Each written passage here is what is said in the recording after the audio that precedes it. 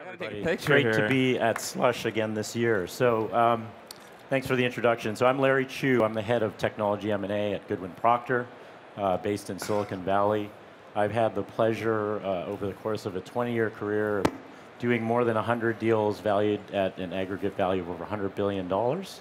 Uh, why is M&A important? Well, the statistic is that 90% of tech companies exit by way of M&A, right? So IPOs are relatively rare. Probably most of you will consider, uh, if you're running a company, an M&A exit at some time in lifespan. What's going on right now? There's a lot of interesting activity. In the US, uh, M&A is down about 20, 25% this year. It's relatively stable in, uh, uh, in Europe and Scandinavia. So I think $75 billion worth of M&A last year. Um, but the good news is that there's record amounts of cash on corporate and VC balance sheets. I think the Atomico report that came out yesterday, there's over $1.5 trillion worth of cash uh, only in technology on corporate balance sheets. So that means there's a lot of shopping to be done. So most M&A in the tech space is strategic M&A. That means that these businesses are not valued on a traditional basis, right? You don't they're not running DCF analysis and backing into evaluation. There's usually a, a product or people or marketplace driven reason why buyers are doing M&A. The traditional big buyers, Google, Oracle, Salesforce, these guys have been extremely active and the good news for everybody in the room is that they've been probably more active in Europe uh, and abroad, Scandinavia and Israel, than they have been in the US in the last 18 months. So we're lucky enough to have you know two incredible founders, uh, Bharat of August Home, which uh, has a Scandinavian element because we just closed the sale of August to uh, Assa Abloy, great Swedish Finnish company, uh, and Risto Lähdesmäki, our hometown boy, uh, who we sold to um, Idean sold to Capgemini earlier this year. Uh, both exits, I can't reveal the purchase price, but they were meaningful exits, lots of zeros attached to them. So, you know, let, let's kick off the discussion. Um, you know, my mic is sort of wigging out, but um, the question is, how did you guys sort of decide when was the right time to sell? Did, did you have a lot of sort of anxiety around that? Well, I mean, wow. I don't know what's happening, but we never went really for sale. I mean, we never, never were looking for like exactly a right time for the sale, but we're trying to introduce a beat. You know, just start rapping here. I think it's your mic, Larry. All right. So um, thanks. So about when was the right time to sell? So we, we never went for sale. I, I, we were always like just trying to build an amazing company and uh, deliver the best work in, in our domain.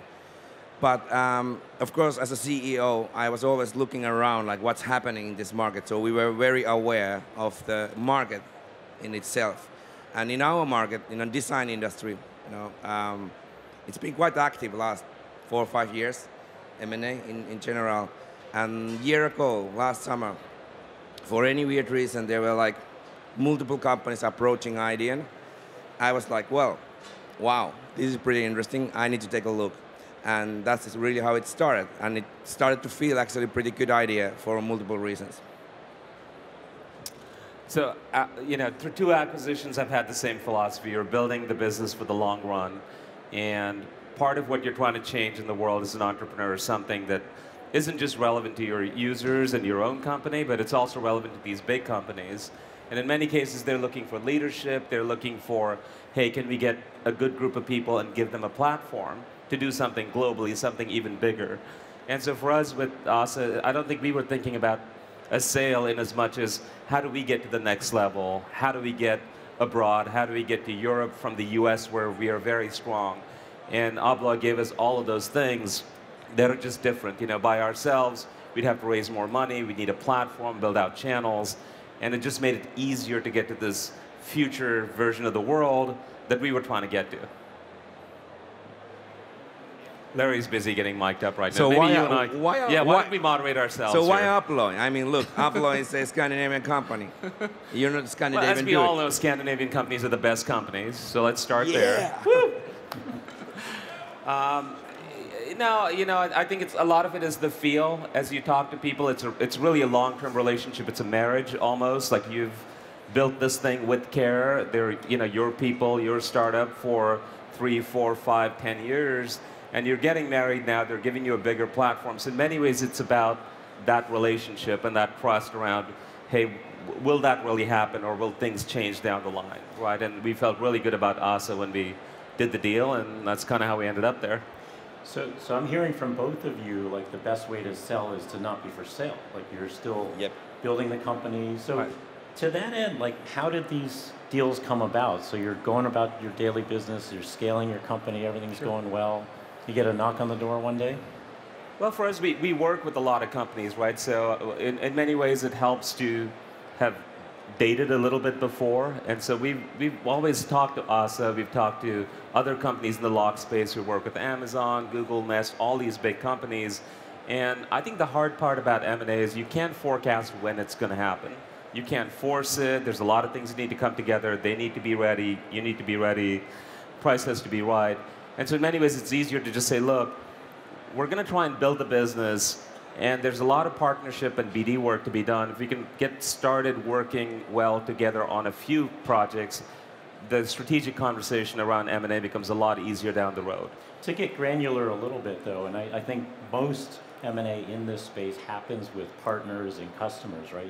People in the ecosystem that you already know. Um, when you're having those conversations, like how do you bring up the topic? Do you bring up the topic or do you say nothing? I mean, you play really hard to catch, right? um, at least in our case, we never knew the, the company which acquired us, Capgemini, amazing company. We ne- never knew them before. I mean, we never worked um, even in one single project. But there were multiple other companies who were, you know, trying to approach before that.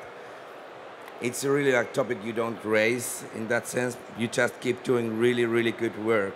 And then, you know, at some point, if you feel that, say, like, you know, right thing to do, you might give a hint. But uh, at least in our case, it was more like we just keep doing good. Yeah, I always, when, when I'm talking to entrepreneurs, I always sort of say, you know, you should be really thinking ahead about who's likely to buy you. Like in some cases, you know, you can actually, if you're in technology, you can build towards sort of maybe a, a product roadmap infirmity or something that, you know, a buyer might have.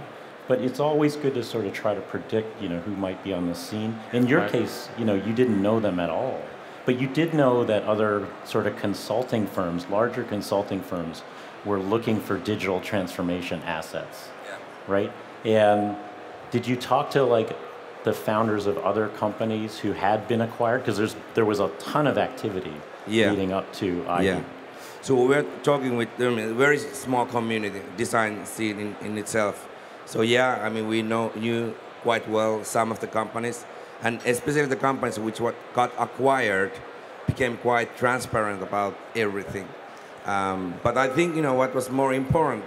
Um, I personally started looking into this space like maybe two, three years ago, just to be prepared if this would happen. So I went to um, meet pretty much every single banker you can imagine in this industry. And uh, trust me, the guys will tell you everything. And I learned what was probably the most important piece. I learned what are the key value drivers for a company like mine uh, when the thing might happen, like you, you're being sold. And that's something you can start preparing, and you should start preparing like way before, like years before you, actually start. It's a good point. You know, bankers can give you good strategic advice for free, obviously. Uh, you had some of those conversations. Did you find that they gave you sort of a consistent view as to, you know, who might be logical buyers for you guys, or did you get lots of different perspectives? I think we've got a lot of different perspectives. You know, I, love bankers, nothing against bankers, but you know, it's, it's a little like selling a house. They always tell you it can be sold for more than it's worth, and it's going to be easier than it is going to be. And uh, you know, a good way to, a good filter for you as an entrepreneur is to talk to the folks that they're talking about directly, so you get a sense for is there a fit? Will they really relate to me? Is there something here that's, you know, to be done on the M&A side, or is it it just looks right, but it's never going to happen? When you guys got that first offer, um, and I know in both cases it was competitive. Right. How did you go about sort of making that situation competitive, getting the best deal for your company? I don't know. What, what, Risto go first on this one. Well, some, some, sorry, my voice is going away. I'm having too much fun in Slush. Way too much fun. But, uh, um, well, some of this stuff is probably kind of between us girls. But, um, what would I say? I mean, being transparent. So we went, ended up being a place where we had multiple different bids coming in, and we didn't really want to start squeezing anyone. We just, we were quite transparent. And personally, I knew quite early on which company is the one we go with, if at all. And so. Well, what was important to you? Was cultural culture, fit? Yeah. Um, the, the fit in terms of like what I could say. So I had one thing in my mind all time. So Idean is all about people. We are like 250 people. And I was always thinking like, which one of these companies I'm able to actually tell and announce the news in a way that everyone believes this is actually good for us. Because there were a lot of fear right. about like what's gonna happen and you know all that. And I knew it quite early on which one of the companies, which we ended up selling the company, uh, would be the one I can be honest as always. What, what were the questions that you asked to, to help you decide which way to go? We talked a lot about we're a startup based in San Francisco you know, we have a, an entire culture of folks that are, are thinking about disrupting this space worldwide, and we didn't want to lose that. And so a big part of it was thinking about what the best home would be. If it's a competitive situation, then price being even, those are the types of things that end up making the difference. And so you have a lot of conversations about how would life be the day after, how would it be 30 days after, how would we have conversations about budgets, how much process is there, how will you react when things go wrong? You know, things you talk about in a normal relationship is kind of what we talk about with them over the M&A process, right? And it, it's, it's not even during a negotiation, it's, you know, after the negotiation, over drinks or over dinner, these are the kinds of things you want to you want to suss out. There's a lot. There's a big trend going on right now that, um, in addition to the traditional tech buyers like doing a lot of buying, there's a lot of what I call old school buys new school. And like both your acquisitions were sort of, you know, they're sort of non-techy, more traditional buyers, you know, industrial company in your case, you know, old consulting company in your case. Was there anything that, you know, came out of that that you found different? Like even little things like how people are compensated in Silicon Valley or, you know, how operations are run, how nimble you're going to be. Like any of that stuff come up? So I've been fortunate in two ways, right? I've, i do consumer and, and I've done hardware, and I've had two exits. First one sold to Intel, it was in the fitness tracking space. Uh, this one was sold to a more traditional buyer. I'd say the biggest difference between a technology buyer and a uh, industrial buyer is just the amount of diligence, their worldview about all the other types of deals they do, because your deal is going to be very, very different from all the other stuff they do. So there's a lot of getting on the same page where they have a particular way of doing diligence, of valuing things that may not gel the same way from the tech space. So I think for us, that was the biggest thing is to educate them on, hey, this is how the technology space works, and their perspective was very much, well, well, this is kind of how the lock space works. So a lot of, there's there's a question that I see that's actually dovetailing nicely here, where um, you guys were saying there's there was a lot of discussion about after the transaction, what happens right. after the transaction. I think a lot of people fail to do that, fail to ask those questions, and you know I'd say the statistic is roughly two thirds of M&A fails because you know you in that integration phase things go wrong, right? You don't plan ahead. So the first question here is like, what happened after you got acquired? Was there were there management changes? You know, big bigger changes, or is life pretty much the same? I know your deal just closed last it week. It just closed so. last week, so maybe you can talk about it more. Um, yeah, I mean, we had exactly the same question right after the deal, like what's going to happen, and people people were a little bit afraid that something's going to happen, and then after three months, people were like a bit afraid because nothing really changed, and so um, But you, you tried to with- guarantee that Yes. things wouldn't change in the yes. process of it. So, I mean, for a company like Idean, again, the culture is everything. The DNA is something we need to hold and, and you know, like protect.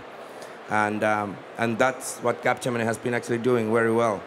They've kept Idean as a separate thing, but we are integrating, of course, our sales, and you know, we are learning a lot from a massively experienced group of 200,000 people. And um, so we are still on, on that journey, but no management changes, none of the massive, massive changes at all. Personally, I've been flying way more in Paris now than lately, which is nice. There's some great questions coming up that I was going to ask anyway, but you know, two of them here.